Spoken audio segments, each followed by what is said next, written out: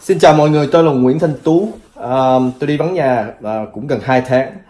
À, chuyến đi vừa rồi về Việt Nam. Mục tiêu của chuyến đi là đi gọi là undercover, là đi bí mật. Tôi đi tìm những người à, nhân vật mà gọi là vô tổ quốc và lưu lạc. Đây là những cái từ ngữ mà ông Lộc KC, à, Voice Canada, Voice, ông Lê Quốc Tuấn, Trình Hội dùng để tả những người à, những người mà họ đưa lậu vào Canada trong cái phim đó mà mọi người sẽ thấy tôi dùng cái tên tên tôi là lúc bây giờ tôi giới thiệu tôi tên là lộc. Lộc đây là lộc KC là lộc KC biểu tượng cho cái láo tối và cái lương lẹo. Tôi căn cứ vào uh, những cái việc sau đây. Như ngày xưa lúc mà gây quỷ đó xin tiền đó trên báo đài thì họ dùng cái chữ là lưu lạc xứ người. Ngày nay khi mà phỏng vấn nửa vòng trái đất phỏng vấn hoặc là Vũ Hoàng Lân cái ờ, cái ờ, truyền hình mà đài uh, Phỏ Bô Sa phỏng vấn thì ông Nam Lộc ông nói là đúng rồi vâng, bà sống lưu lạc khắp nước nước Việt Nam anh. Nếu các anh lưu lạc ở Việt Nam thì làm gì có cái chuyện vô tổ quốc? Nếu vô tổ quốc thì làm gì có chuyện lưu lạc ở Việt Nam? Cái chữ vô tổ quốc ám chỉ cái sự đàn áp của chính quyền Việt Nam. Làm thế nào mà cái nhân vật sáu nên tôi tiêu sáu nhân vật tôi tìm được nhưng mà tôi sẽ nói một người thôi người đó là võ văn dũng à, biệt hiệu là biệt danh là gọi là Dũng Loa. Chào đón họ như thế nào trong những ngày qua? Anh sẽ có đón một gia đình à, hai vợ chồng và một đứa con trai. Chủ nhật và uống cà phê, nghe nhạc nhẹ. À, một à, nghệ sĩ piano à, đánh đàn rất là tuyệt vời. Nếu mà cái chữ vô tổ quốc ám chỉ cái sự đàn áp của chính phủ Việt Nam thì làm thế nào một anh này Vũ ờ, Dũng Loa lại một lại lại lại, những ờ, lại là một người đại gia có 15 người làm việc và rất giàu. À, lúc mà trong cái video sẽ cho thấy họ bảo lãnh ông này vào trong đưa đưa lậu từ Voice Thái Lan bay qua Thái Lan xong vào Canada. Lúc đó họ đi tìm việc làm cho ông này ở mấy cái nhà hàng à, đi tìm những cái nệm à, những cái tủ những cái bộ đồ à, bàn ghế đồ, những cái nồi này kia và thực tế là ông này là một đại gia giàu hơn những người mà bảo lãnh những người đi tìm cái này nữa. Làm gì có chuyện mà ông đi, đi ông ông ông Dũng Loa này làm cho nhà hàng chuyện đó sẽ không bao giờ có. À, và và trong đây sẽ mọi người sẽ thấy cái cái gọi là cái uh, nhiều người gọi là cái uh, thông hành hoặc là cái uh, cái gì hộ chiếu đó. Thông hành là hộ chiếu tôi nghĩ là cũng cũng sẽ cũng ý cũng cũng vậy. Nhưng mà trong đó năm 2006 là chính phủ Việt Nam đã cấp cái hộ chiếu này cho, hay là cái thông hành này cho ông ờ, Dũng Loa. Năm 2006 và trong đó họ nói là ông này là công dân Việt Nam, người kinh, là dân kinh gì đó, là người Việt. Thì chứng minh là ông này đã có mặt ở Việt Nam, là kinh doanh giàu, là đại ca và chưa bao giờ vô tổ quốc, hoặc là lưu lạc 30 năm ở Thái Lan, như họ nói. Trong video mọi người sẽ thấy ờ, nhiều người nói là ông này ổng lưu lạc ở xứ Thái 30 năm chuyện đó không có. Tôi có nhận được nhiều cái email mọi người khuyên là anh Tú biết những cái việc này tại sao không đưa cho di chú Canada làm việc? Đây là cái phương pháp mà làm việc tôi nghĩ nhiều người không có biết. Tôi xin cảm ơn cái ý kiến rất hay. Nhưng mà làm cái đó là làm từ dưới lên trên. Tôi làm từ ở trên xuống. Ở dưới lên là những người này chỉ là những người à, làm việc thư ký rồi này vậy thôi. Họ không có gọi là có thẩm quyền là, là quyết định gì cả. Phải từ trên xuống. như vậy nó mới có cái cái mới có cái um, cái cái hữu hiệu và mấy cái việc đó. Còn cái tin tức đó tôi thấy đồng cộng đồng Việt Nam nhiều lúc tôi đọc mấy cái comments tôi thấy họ thắc mắc là anh Tú lấy tin tức này ở đâu ra? Có, có nghĩa là họ ám chỉ là chính phủ Việt Nam là cái người uh, giúp tôi làm việc này. Thực thực tế là không phải như vậy. Trong video này mọi người sẽ thấy cái cách thức mà tôi lấy cái, ờ, cái gọi là extract tôi lấy cái tài liệu từ đâu ra cái tin tức những cái tài liệu mà uh, tôi lấy là tự đảng viên của Voice uh, là nội bộ và người của họ tình nguyện đưa cho tôi chứ không phải chính phủ Việt Nam nào cả. Thì họ thì mọi người sẽ thấy trong cái video cho cái cách thức tôi làm việc làm sao. Tôi xin ngừng nơi đây và hy vọng mọi người hiểu. Mời coi cái video này. Mãi khắc ghi trong tim lời khuyên của người chứa chan tình thương. Hãy sống sao cho thật tốt không lo đời chia ta sống xa con ghi nhớ. Bao gian lao cha chở che, luôn bên con, dẫn con đi trên đường đời. Cha yêu ơi, trong tim con luôn khắc ghi công ơn cha muôn đời, vẫn luôn còn mãi. Châu Thị Thùy Dương Ở đây tôi chụp cái này gửi trong mất Chị làm gì ở đó cho hãng hãng này tên gì? Ở Sài Gòn Red Travel Dạ, Sài Gòn Red Travel. Chị làm gì ở đó? Chị làm gì ở đó? Dạ, đây của em. Có giám đốc là gì? VP? Ờ, Vice uh, Director? xem lại ờ, manager. Manager? Địa chỉ của hãng chị nằm ở đâu? À, 18A Nam Quốc anh. Nam Quốc Càng Hãng chị lớn hơn có bao nhiêu người làm? Ờ, bên em là khoảng tầm 10, ờ, 15 người. 15 người làm Dạ, tính cả hướng dẫn viên luôn. Chị làm ăn được bao lâu? Dạ, của em là đã 4 năm rồi anh.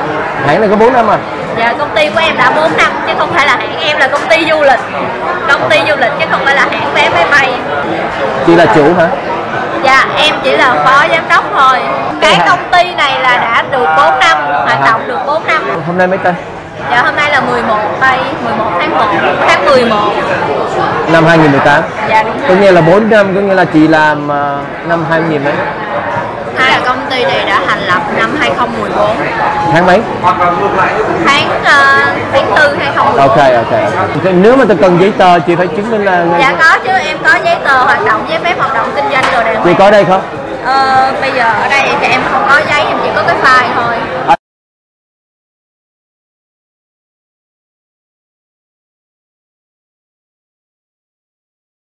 À, chị gửi cho tôi chị text qua đây cho tôi cái business card này có lý này tôi chụp nhé Dạ, Chứ không dạ, ngờ dạ. không ngờ thôi Dạ. Dạ, chị cầm tôi tôi chụp cái màu đỏ Đây, quay lại quay lại quay lại ok Cái đây là cái giấy phép lữ hành quốc tế của bên em ha. ủa đâu mất rồi Đây để em gửi qua cho anh. chị làm to to để tôi chụp tôi chụp Dạ rồi. Không bây giờ em gửi qua cho anh bằng cái này luôn. à, ok ok ai là chủ ông ông nào tên Dạ. võ gì Võ Văn Dũng. ông ở oh, võ văn dũng ông thành lập ở ông là người việt hả Dạ dạ đúng rồi. Người Việt. bây giờ ông đang ở việt nam Dạ ảnh ờ, ảnh đang hiện tại ờ, ảnh Công tác. đã có dạ đúng rồi ảnh đi công tác ở Canada. chị mới gửi tôi một cái thứ hai là cái nào để coi coi Dạ cái đó là cái ờ, giấy phép kinh doanh, cái kia là giấy phép lữ hành quốc tế. à, hay quá có tên ông ông gì dũng gì trong đây không Dạ có. đâu chị chỉ coi Dạ đây Võ Văn Dũng.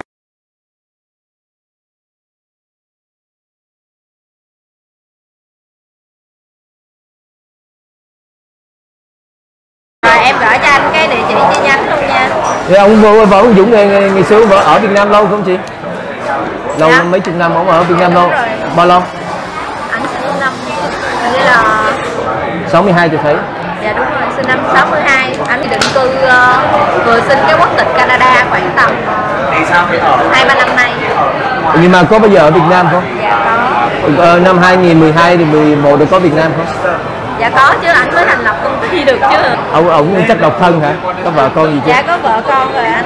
Có con trai con gái gì không? Dạ có con con gái thôi hả? Dạ dạ. Không có con trai hả? Dạ có. À, đó ông không có có con gái không có con trai có một đứa hả? Dạ. Em gửi cho anh là cái giấy phép ờ, hoạt động chi nhánh của bên em. À, Vừa dạ. rồi em mới vừa dọn chi nhánh uh, 18 A Nam Quốc An đây. Ờ còn ngày xưa thì ở đâu chị? Dạ ở đường ờ, chợ cầu muối anh à ok. À, nhưng mà tốt quá tôi coi giấy tờ của chị quá tốt. Nhưng mà tôi yên tâm nhất là ông này ông có vợ rồi thành ra tôi cũng yên tâm Dạ. tôi có một đứa con này này kia. Mà ông ở Việt Nam lâu rồi phải không? Dạ đúng rồi năm anh cứ yên tâm. 2011 12 rồi có mặt ở Việt Nam Dạ hết đúng 14 vẫn còn ở Việt Nam. Dạ. ok. Anh có thể lên trên mạng anh search cái mã số thuế của công ty em nó sẽ hiện ra thông tin luôn. Vậy hả? Dạ đúng rồi. Ở trên đây có mã số thuế đây nè. À, dạ đây cái này là mã số thuế ha. Dạ anh lên anh sẽ search ra được cái thông tin của công ty em. Còn cái cái này trên cái giấy ờ, anh, anh cái giấy này. Cái giấy này thì bên em là có giấy chứ có chứng nhận là đã có ký quỹ ở ngân hàng Sacombank của của ngân hàng nhà nước Việt Nam là có ký quỹ 500 triệu. À, mà mở hồi nào Dạ cái này là bắt buộc tất cả các công ty du lịch khi mà đăng ký lữ hành quốc tế đều phải ký quỹ cho nhà nước 500 triệu từ khi thành lập công ty cho đến ngày hôm nay. ờ nhưng mà có- cái ngày trên trong đó không? Có cái ngày Dạ trong đây, nó nó sẽ được ô hai nghìn ok cái ngày. Dạ. lẻ sáu luôn hả? Dạ không 2014 nè anh. Hay là trên Dạ đây. Đây. Cái này là cái ngày mà Ờ, công ty ok. em được Thành lập. thành lập. Dạ đúng rồi được chính thức được thành lập được pháp luật công nhận. Dạ đây. Còn cái đây là cái ngân hàng ký quỹ ha số tài khoản ký quỹ của công ty em đây ha. Còn ông ông chủ này ông chưa bao giờ lưu lạc ở trên Dạ. website không? Ông không có vô Trung Quốc đúng không? Dạ không dạ ok không. ok ok tôi chỉ hỏi thôi. là ông là người Việt rồi này kia dạ đúng rồi ok. dạ đúng rồi. Ông đi tới đi lui ờ, thoải mái hết chị. Dạ đúng rồi rồi dạ, ok. rồi. rồi quá tốt ở gần đây nè anh có thể đi bộ được em dẫn anh đi nhưng mà không vô được tại vì hôm nay tòa nhà người ta đóng cửa thôi dẫn tôi đi bộ đi coi thôi Dạ rồi. đi đi coi đi coi ok như vậy chị có vé rồi hả Dạ rồi, ok cho cho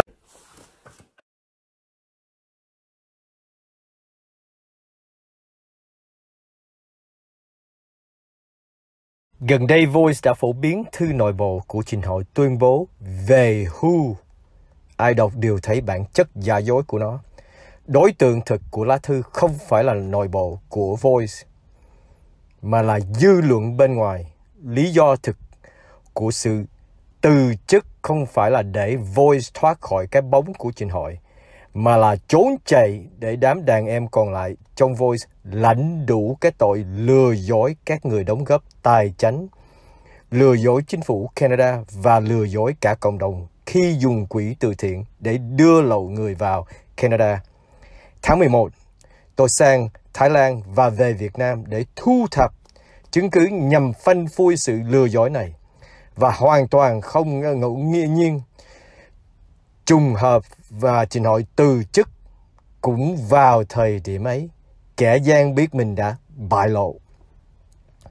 Tôi sẽ lần lượt chứng minh rằng Voice đã lấy chỗ định cư của các cụ thuyền nhân thực sự lưu lạc nơi đất Thái để đưa lậu các thành phần đại gia hoặc là thuyền nhân đại gia ở Việt Nam vào Canada.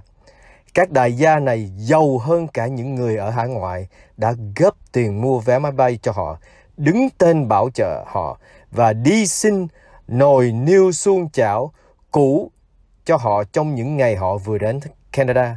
Chỉ vài chục nghìn USD cho mỗi vé định cư chẳng là gì với họ. Và cũng chẳng đáng ngạc nhiên khi trình hội khoe lãnh lương 100 đô, 100 đô một tháng mà lại mua nhà đắt tiền mỗi một năm một cái. Không thể thể nào là vô tổ quốc. Ví dụ trường hợp của Võ Văn Dũng, biệt danh là Dũng Loa. Năm 2016, Đài SP10 giới thiệu nhóm 19 cựu thuyền nhân vừa đến Canada từ Thái Lan. Xin xem. Kính thưa quý vị, chúng tôi hiện đang có mặt tại phi trường quốc tế thành phố Toronto và đang chào đón 19 người tị nạn đến từ Thái Lan. Họ là ai? Họ là những người đã trải qua một phần tư thế kỷ sống một cuộc sống bất hợp pháp ở tại Thái Lan và hiện nay chính thức là công dân của đất nước Canada để chấm dứt cuộc sống vô tổ quốc. Đứa bé mặc áo xanh dẫn đầu. Đây là đứa bé mà trình hội Voice, Voice Canada và Nam Lộc cho là con của Dũng Loa. Dũng Loa là người mặc áo đỏ. Người phụ nữ đi sau lưng Dũng Loa đó là người mà trình hội Voice, Voice Canada và Nam Lộc cho là vợ của Dũng Loa. Ông Danny Đỗ, một thân hữu của Voice, gửi lời chúc mừng trên Facebook. Chúc mừng gia đình Dũng đến lập nghiệp ở Ottawa, Canada, gần 30 năm vất vưởng trên xứ Thái. Dũng Loa không thể nào vô tổ quốc. Vô tổ quốc là những người không quốc gia nào thừa nhận. Đằng này Dũng Loa mang hộ chiếu Việt Nam số 024510591 cấp ngày 17 tây tháng 4 năm 2006. Dũng Loa sống ở Việt Nam và làm chủ công ty du lịch Red Travel được cấp giấy phép ngày 14 tây tháng 5 năm 2014. vốn điều lệ là 1 tỷ đồng Việt Nam. Công ty này có 15 nhân viên và tôi đã đến tận nơi để chụp hình và quay phim công ty của Dũng Loa. Không những thế, tại đây tôi khám phá những điều sau. Người đàn bà mà Dũng Loa khai là vợ, để Voice đưa sang Canada là vợ giả. Người đó tên là Lan Anh Trương. Còn vợ thật vẫn còn ở Việt Nam. Người thứ hai đó là con trai mà Dũng gọi Dũng Loa khai để Voice đưa sang Canada là con giả. Đứa con trai đó tên là Vin năm 2016 khi đến Canada là 8 được 8 tuổi. Ông ông chắc độc thân hả? Có vợ con gì chưa? dạ có vợ con rồi anh Con trai con gái gì không? dạ có con gái Con gái thôi hả? dạ dạ Không có con trai hả? dạ có À đó, ông không có có con gái không có con trai có một đứa hả? Còn ông ông chủ này ông chưa bao giờ lưu lạc ở trên Dạ, đất Thái không? Ông không có vô Tổ quốc đúng không? dạ không dạ Ok không ok ok tôi chỉ hỏi thôi. Là ông là người Việt rồi này kia. dạ đúng rồi Ok. dạ đúng rồi Ông đi tới đi lui ờ, thoải mái hết chị. dạ đúng rồi Rồi, dạ, ok. đúng. Rồi quá tốt. Con thật là người đứa con gái còn ở Việt Nam năm 2017 Dũng Loa đã bảo lãnh người con này sang Canada. Nghĩa là Dũng Loa không vô tổ quốc, không hề lưu lạc ở đất Thái 30 năm, có hộ chiếu Việt Nam, có tài sản kết xù ở Việt Nam, có công ty với 15 nhân viên ở Việt Nam, thường xuyên có mặt ở Việt Nam và chẳng hề bị đàn áp gì cả để phải đi tị nạn sang Canada. ấy vậy mà cô Vi Hạnh, Amy Nguyễn, luật sư làm cho Voice, từng khoe là đã làm hồ sơ định cư cho Dũng Loa. Nghĩa là cô ta đã ngụy tạo hồ sơ định cư Canada cho tay đại gia này cùng với vợ giả, con giả của hắn. Không phải là đưa lậu người vào Canada thì là gì? Không phải là hành động phi pháp thì là gì? Không chỉ có thế, khi đưa lậu người vào Canada Voice đã lấy mất chỗ của các cụ thuyền nhân thực sự xứng đáng và hợp lệ. Hiện nay ở Thái còn ít ra 30 đến 50 các cụ thuyền nhân này. Họ tiếp tục sống lây lất ở Thái và không có tên trong danh sách 50 người, 50 người mà vô đi gây quỹ để đưa vào Canada trong tương lai. Chẳng những vậy mà 12 người trong cái danh sách 50 là đảng viên của băng đảng Việt Tân. Những người này mới qua chưa hề là thuyền nhân, chưa hề là lưu lạc ở xứ Thái, chưa bao giờ là vô tổ quốc. Có nghĩa là một lần nữa, Voice bỏ rơi những người thuyền nhân có điều kiện. Ông Danny Đỗ đã làm to và hàng ngàn các nhà hảo tâm đã đóng góp hoặc đứng ra gây quỹ cho Voice đều đã bị lường gạt. Ví dụ như nhà hảo tâm ông Hùng và nhà truyền thông Ngụy Vũ.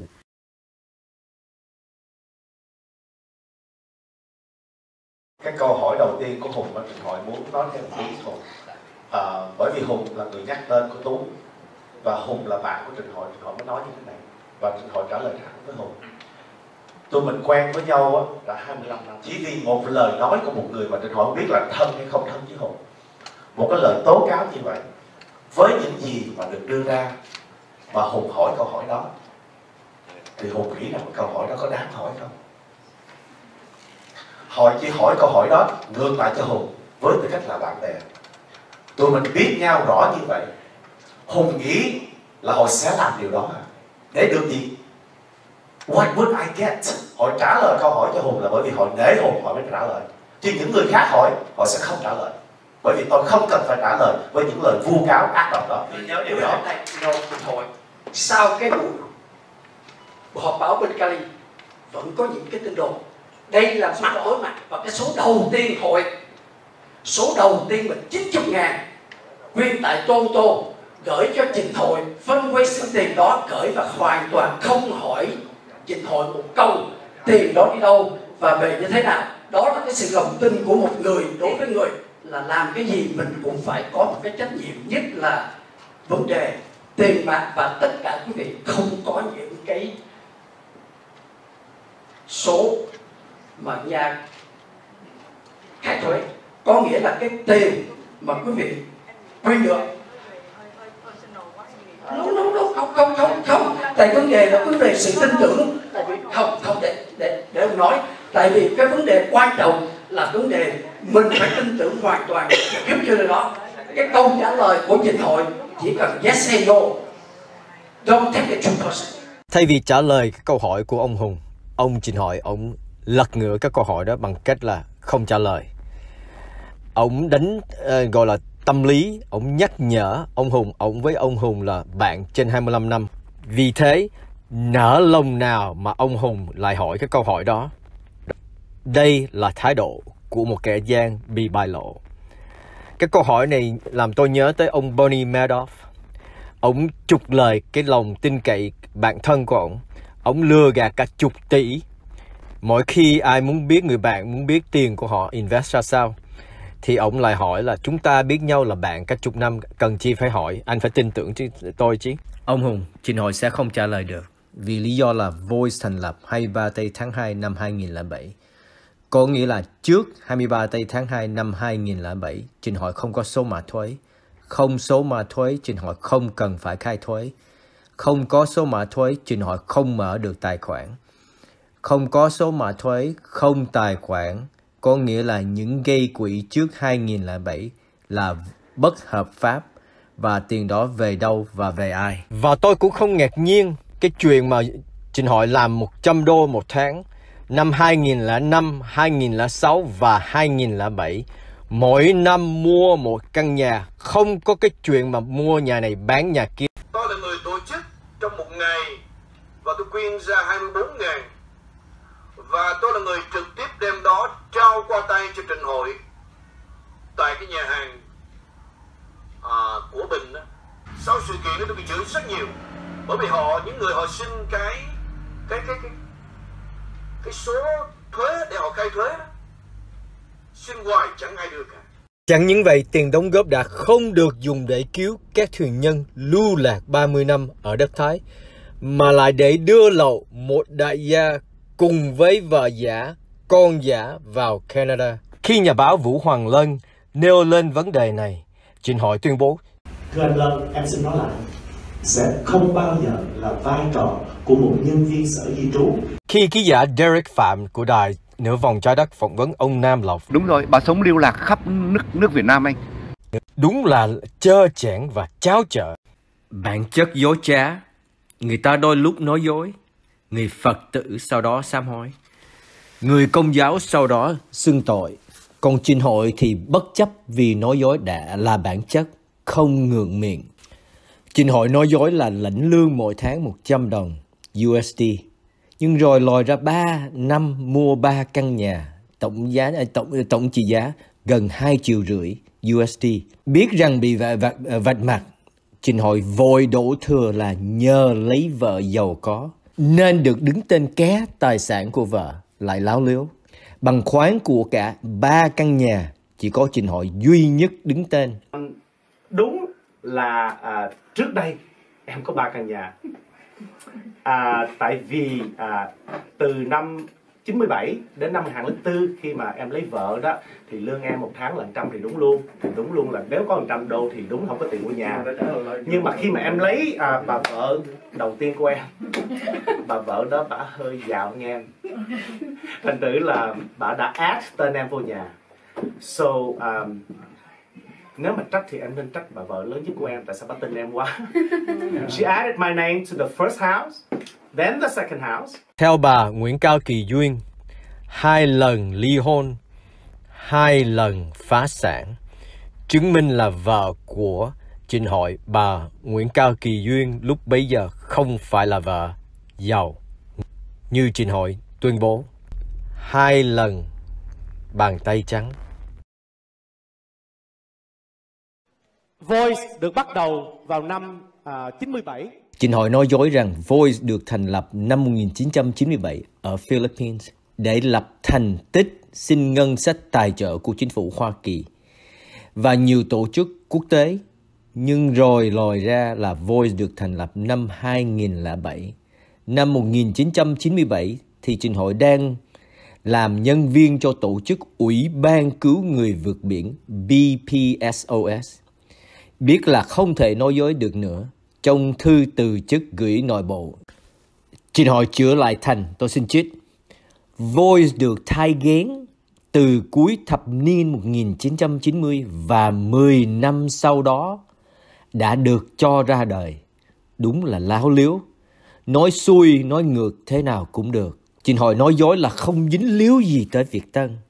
Rồi lòi ra là Hoàng Tứ Duy, phát ngôn viên của Việt Tân, đã đồng sáng lập hình Voice trong khi Trình Hội bận, đo, bận đóng phim ở Việt Nam.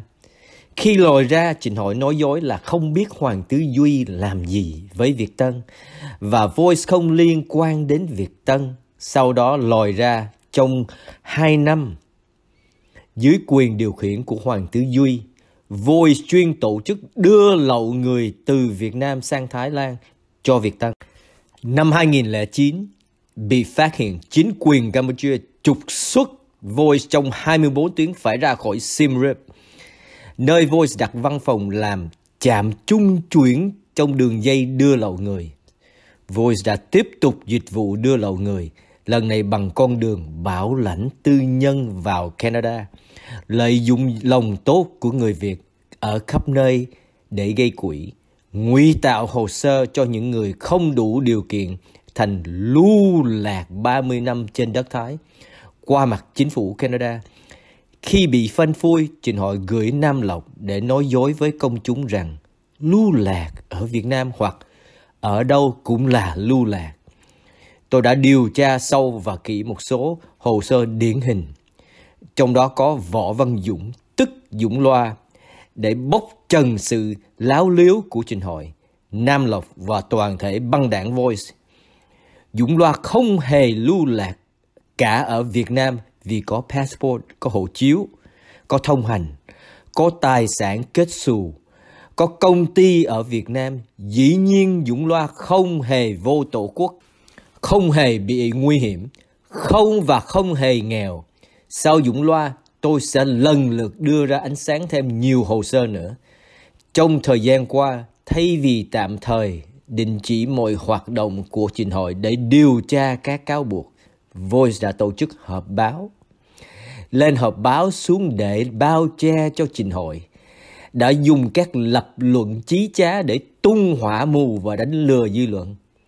Và đã dùng hàng tá dư luận viên để tấn công những ai nếu thắc mắc. Tự trồng vào cổ tội dối trá và lương gạt để đưa lậu người vào Canada. Voi sẽ lãnh đủ trước pháp luật. Chính hỏi từ chức để thoát thân vì biết tôi đã nắm được nhiều chứng cứ về sự dối trá của hắn ta. Chính hội đang chặt vòi voice và rút vào chỗ kín ẩn nấp một thời gian, chờ khi thuận tiện sẽ lại mọc ra cái vòi mới. Đó chính là kế thoát thân mà con bạch tuộc Việt Tân đã sử dụng từ mấy mươi năm qua. Mãi khắc ghi trong tim lời khuyên của người chứa chan tình thương hãy sống sao cho thật tốt, không lo đời chỉ ta sống xa con ghi nhớ bao gian lao cha chở che, luôn bên con dẫn con đi trên đường đời. Cha yêu ơi, trong tim con luôn khắc ghi công ơn cha muôn đời, vẫn luôn còn mãi.